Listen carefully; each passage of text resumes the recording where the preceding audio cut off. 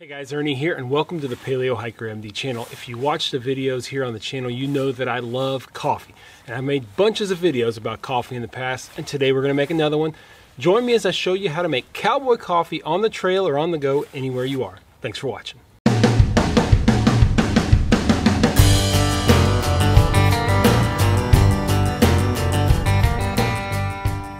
Now, the right cup of coffee is a big deal, and uh, I've used all kinds of different ways to try to make that perfect cup of coffee. We're going to try another method today that many say makes the best coffee, and that's cowboy coffee. What I've read is that cowboy coffee allows you to make the best coffee with the least acidic flavor of any way of making coffee, and certainly none of us want to have that acidic flavor, so let's see what it's all about. Now, this is adapted from a video that's pretty well known on YouTube by Cowboy Kent Roberts he does his specific way of making cowboy coffee. His theory is that boiling the coffee over a more prolonged period of time decreases the acidity and makes a better cup of coffee. This is a much smoother cup of coffee, less upset stomach, things like that. So basically what you need is coffee, a way to boil the coffee, and a little bit of cold water. Let me show you guys how we're gonna use our Jetboil today to make this happen. First thing we'll do is get our two cups of water boiling in our Jetboil. The maximum amount of water recommended by Jetboil is two cups, so that's what we're gonna use. We're gonna put it right up to the two cup mark. And we're gonna get this thing going and get it boiling, and then I'll show you guys what we're gonna do. It may get a little loud, but it's not too bad with the Jetboil. It's not super loud. Not like that truck, for example.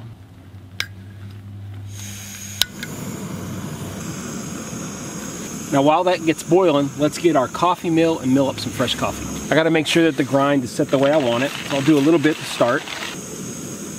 That's pretty good. It's a little bit of a coarse grind, but not terribly coarse. Now this is where it might get a little tricky because if you know the jet Jetboil very well, it's good at boiling, but its controller doesn't allow you to really adjust very much. So we're gonna see if this works or not.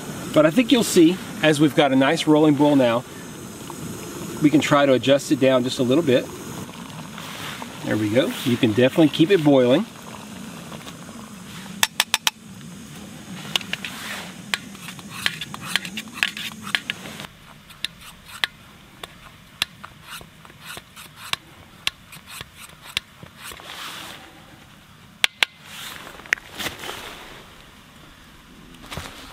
You can see guys, it is just boiling and you have to barely have this thing on. You want to try to get as many of these grinds off the side. And honestly, next time, I, I got a little excited. Next time, I need to get it boiling just like this, barely boiling, and then add the coffee because created an issue without question. I'm going to get some element of grinds in there. All right, we're just going to let this boil for about, I don't know, five minutes. All right, it's been going for a good while now. And those of you who follow the channel know that I don't like black coffee very much. But you know what? This is supposed to make smooth coffee. So we're going to turn this off. We're going to pull this off.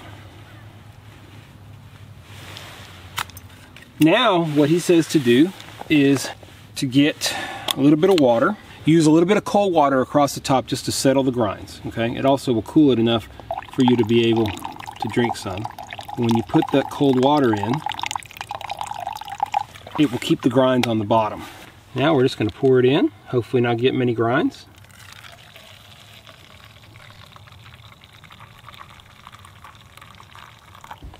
tell you, I didn't see any grinds go in there, guys. there it is.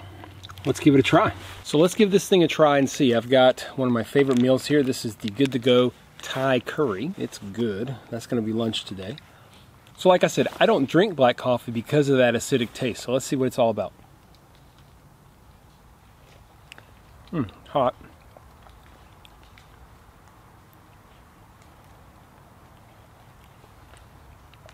Wow. Yeah, it doesn't have any acidic taste.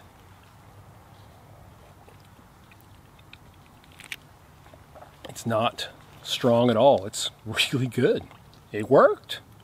Now, like I said, I tried Cowboy Coffee a long time ago. I mean, it's probably been three or four years ago. I can't even remember really that big of a difference. Maybe I did it wrong back then because this really worked. normally, I do not drink black coffee at all. This is good. And there's no grinds in there. I think old cowboy Kent Roberts knows what he's talking about. All you need to be able to do is control your boil so that it just boils lightly for five, eight minutes, whatever it is you want to do. You can keep this thing boiling, I think, all day long if you really want to. All right, well, maybe not all day long, but you know what I'm saying. I wasn't sure if the Jetboil would work well, but I had this idea and it actually worked. You have to turn it on the very lowest setting. Basically, it would probably not work otherwise, but it worked just fine. Y'all could see it it boiled for five minutes, no problem. And since it's the Jetboil, it probably used hardly any fuel whatsoever. So why did I do this? Why did I try the Cowboy coffee knowing that I really don't drink coffee a lot without creamer? Well, obviously I wanted to see whether or not it would work. And it had been so long since I'd done it that I really didn't even remember if it worked. I can tell you guys that it does work, and I'm real excited because this means that if I happen to forget my creamer or if I'm out somewhere and I've got an ability to make Cowboy coffee, I'll drink this all day long. It really is amazing how much smoother it is by just boiling out the acidity, I guess. Leave it to a cowboy. I'll put a link down below to Cowboy Kent Roberts' original video, at least the one that I saw. He makes it in much higher volume, but he explains the process a little bit better than I did probably. It's worth a look because it's really interesting, and I think if you're looking for a new and interesting way to make coffee, this is a good one. I don't know if you guys are aware, but I have an entire playlist dedicated to coffee in the woods, so make sure and check it out. I'll add this one to it. If you like the video, please do me a favor, hit the thumbs up down below. If you haven't subscribed already, make sure you hit the subscription button. If you want to be absolutely sure you never miss any of my videos, hit that ding dong bell and you'll be the first to know. I'm sitting here in front of the Little Missouri River, and it's not very little. This is where it moves into Lake Greeson, so pretty excited about checking this area out. I'm to finish up my lunch recharge, and head out again. As always, guys, I appreciate you checking out the Paleo Hiker MD channel. Stay tuned for more videos soon.